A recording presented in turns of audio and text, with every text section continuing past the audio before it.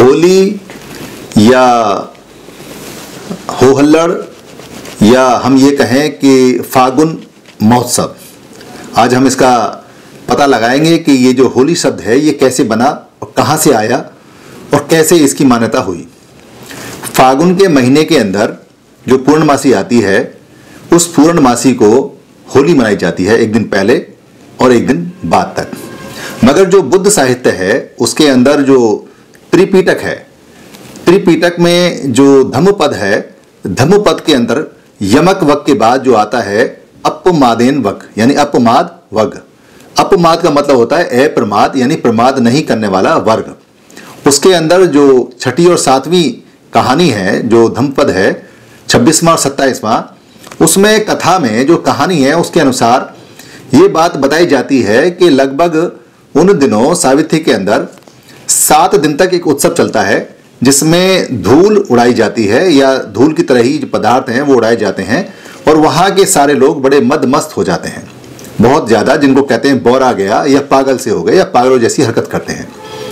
तो भिक्कू जो वहाँ निवास करते हैं पास में बुद्ध विहार में वहाँ के जो अच्छे लोग हैं, जो भद्र लोग हैं, जो बहुत जिनको देवता कहा जाता है, वो लोग वहाँ जाके भिक्खु से प्रार्थना करते हैं कि भिक्खू, यहाँ सात दिन तक लोग उधम मचाएँगे हुड़दंग मचाएँगे, इसलिए आप सात दिन तक यहाँ नहीं आना, हम आपको भोजन की व्यवस्था वहीं कर देंगे। ये जो फग्गु शब्द है, फग्गु शब्द से फग्गुण बना है और फग्गुण से फागुन माह बना है। इस फग्गु का मतलब होता है निराहार रहना या बिना खाने के रहना। यानी कि आप साधना, विपसना या मेडिटेशन में जब बैठते हैं तो कम खाना खाते हैं, इसलिए फग्गु मास यानी जो फागुन है, उसका एक खास नियम यहाँ माना जाता है।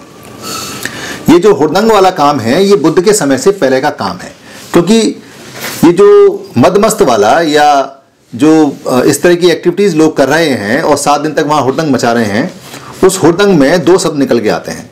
एक आता है धूली धूली का मतलब होता है पाली में धूल, और एक आता है लड्डू। लड्डू का मतलब होता है जो लड्डू आप सब समझते हैं, लड्डू लड्डू से बना हुआ है, यानी मिट्टी का ढेला। मिट्टी का ढला हो गया, या मोती चूर के लड्डू हो गए, लड्डू हो गए तो मोती चूर के लड्डू यानी ढिला हो गया।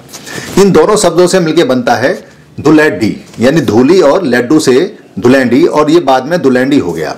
दुलैंडी का मतलब होता है धूल से और धूल के ढिठेले से खेलना या उसका क्रियाकलाप। मगर उससे भी पहले एक शब्द पाली में आता है, जिसको बोलते हैं होला। होला जो शब्द है होला, आज जो पुराने लोग हैं, वो सब जानते हैं कि जो चने की फ़सल होती है और चने का पेड़ अगर हम उठा लाएँ और उसमें कच्चा चना होता है तो उसको होला बोलते हैं। और होला को इन दिनों छोटी छोटी आग जला के उसको सेक के या गर्म करके खाया जाता है। और साथ ही साथ जौ को भी देखा जाता है कि जौ कैसी बनी है और अब तो गेहूँ आ गया। पहले गेहूँ नहीं था, अब गेहूँ भी आ गया गेहूँ के अंदर हम ये देखते हैं कि बाली में कितने दाने पके, कितने मोटे और उसको भून के खाते हैं। छोटी छोटी आग जलाते हैं। और एक होता है हेला शब्द।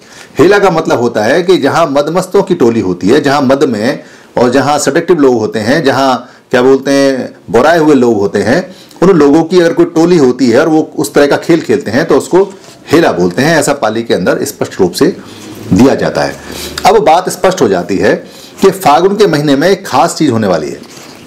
खास चीज़ क्या होने वाली है? अगर आपने रक्षा बंधन सुत्तंग, यानी जो रक्षा बंधन सुत्तंग वाली अगर आपने पहली रक्षाबंधन पे जो हमने वीडियो बनाई थी, अगर वो आपने देखी हो या उसे आप देख लें तो उसमें एक खास बात थी कि सावन के महीने में, जब चैत के महीने में, बैसाख के महीने में भगवान बुद्ध का महापरिनिर्माण होता है तो बैसाख के सात दिन बाद ही एक सुभद्रक नाम के जो नए भिक्खु बने होते हैं, वो ये कहते हैं कि अब हमें श्रवण गौतम की, यानी कि भगवान बुद्ध की अब ज़रूरत नहीं है, वो हमें बड़ा रोका करते थे, ऐसा कीजिए, वैसा मत कीजिए, अब हमारा जो मनाएगा, वो हम करेंगे।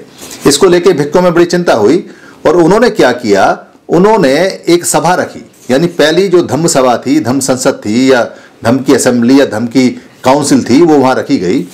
और उसको सावन के महीने में पूर्णमासी को रखा गया। इसलिए उसको रखा सूतंग दिवसंग बोलते हैं। क्यों? क्योंकि वहाँ जो सूत हैं, उनकी रक्षा के लिए, उनको बंधन करने के लिए, उनको गांठ बांधने के लिए, ग्रंथ बनाने के लिए वहाँ सभा हुई। और वो सभा 500 सौ अरत भिक्खों की हुई और सात महीने तक चली। सात महीने जो खत्म होते हैं, वो फागुन की पूर्णमासी को खत्म होते हैं। क्योंकि फागुन की पूर्णमासी को सात पूरे होते हैं, इसलिए आम प्रचलन है कि गोबर के बने हुए जो धम चक्र होते हैं और उसमें जो छोटे छोटे छोटे छोटे गोबर की टिप्स बनाई जाती हैं, जो कि दिवाली पे गौतम धम दिवस, जिसको बाद में गौतम धम से गौतम धन बनाया और गौतम धन से गौधन बनाया और गौधन से गोवर्धन बना दिया और गोवर्धन बना के उसको एक पुतला सा जो बनाते हैं, वो बनाया। वहाँ उसकी नींव नींव रखी जाती है और उसको सात महीने बाद वो माला में परो के उसको, वहाँ आग जलाते हैं और आग जला के भूनते हैं। ये एक सिंबल हो सकता है कि माला पूरी हो गई, इसका मतलब ग्रंथ में यानी गांठ लग गई और धमपद पूरा हो गया और जितना भी त्रिपिटक है वो पूरा हो गया। इसका एक धमपद महोत्सव मनाते हैं। जो बेंगलोर के अंदर महाबोधि सोसाइटी है, वो पिछले बहुत सारे सालों से वहाँ धमपद का उत्सव मनाते हैं। क्योंकि त्रिपिटक पूरा हुआ था, इसलिए वो त्रिपिटक का उत्सव भी वहाँ बनता है। तो एक बड़ी कमाल की और खुशखबरी की बात है कि इस दिन आपका त्रिपिटक पूरा का पूरा बंद गया और हो गया, उसकी एक खुशी है। मगर इस खुशी के साथ साथ में एक दुख की बात यह भी है कि इस दुलैंडी, यानी जो धूल बड़े गुब्बार वाले, जो मदमस्त, जो लोग थे, उनके इस तरह के क्रियाकलाप से जो उनके शत्रु हैं या जो शत्रु बने या जो बाहर से आगे लोग शत्रुता जिन्होंने निभाई, उन्होंने बहुत सारे लोगों को हताहत किया, बहुत सारे लोगों को खत्म किया। ऐसी एक कहानी जो आपने सुनी होगी, वो हिरण्य कश्यप की पहलाद की और होलिका की है।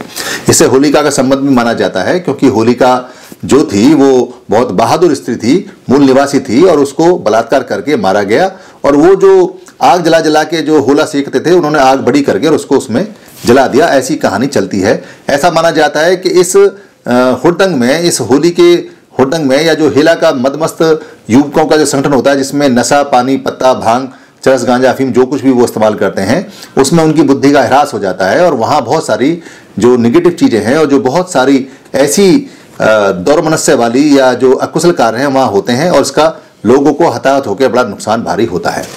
भगवान बुद्ध के संज्ञान में जब ये बात गई कि यहाँ सावित्री के अंदर सात दिन तक ये हुडंग मचेगा और इस तरह से लोग वहाँ हुडंग मचाते हैं। तो उन्होंने अपनी गाथा कही, जो छब्बीसवीं या सत्ताईसवीं धम पद के अंदर है, उसमें उन्होंने स्पष्ट कहा कि जो बुद्धिमान लोग होते हैं, वो अपने आपकी और अपने धन की रक्षा करते हैं, और जो बुद्धिमान बाल, जो बाल बुद्धि लोग होते हैं, बुद्धिमान नहीं होते हैं, वो मदमस्त होते हैं और प्रमाद में पड़े रहते हैं, अपना जीवन व्यस्त करते हैं, औरों का जीवन भी वो नुकसानदायक करते हैं और वो प्रकृति के लिए हानिकारक हैं।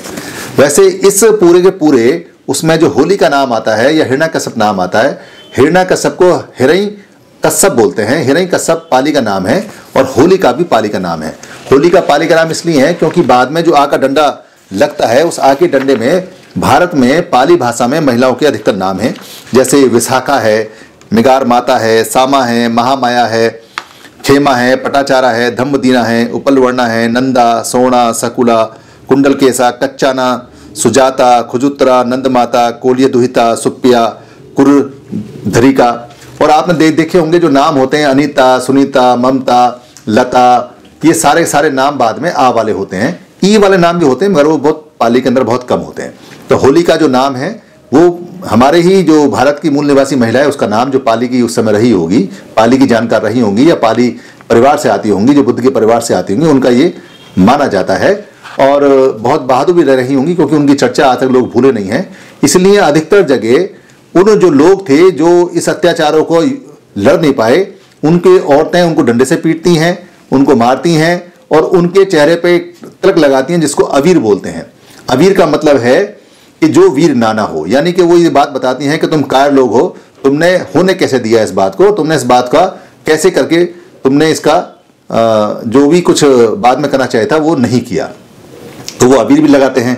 ये प्रचलन गुलाब का या अबीर का या इस तरह के पुराने पाली के इतिहास में नहीं मिलता और होली नाम कहीं नहीं मिलता।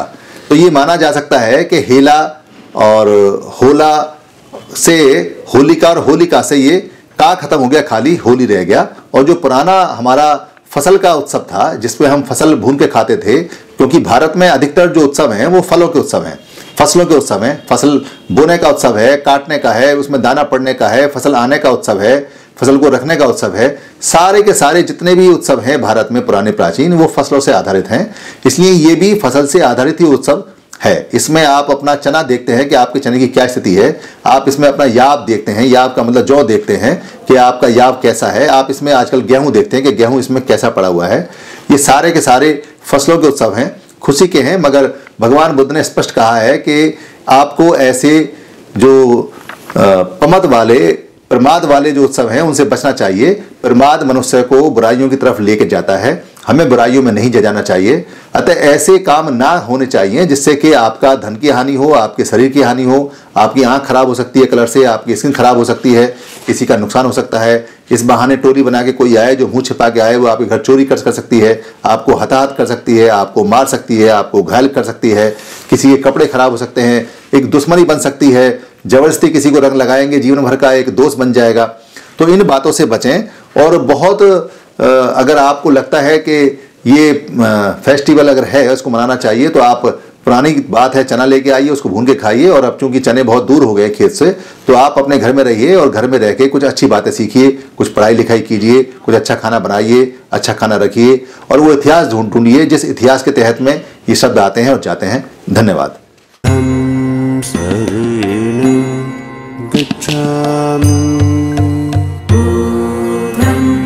शरेण गच्छा